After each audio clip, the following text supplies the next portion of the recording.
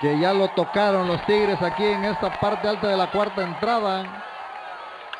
Batazo, cañonazo para el derecho, la pelota va caminando para atrás, para atrás la pelota y se fue. Va su caso de cuatro esquinas de acá de Tigres, Tigres de Quintana Roo, por Sergio Contreras, como bien decías, grandes temporadas de este hombre.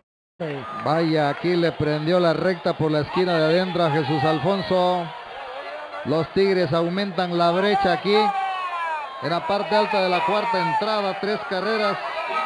Y ahora están ganando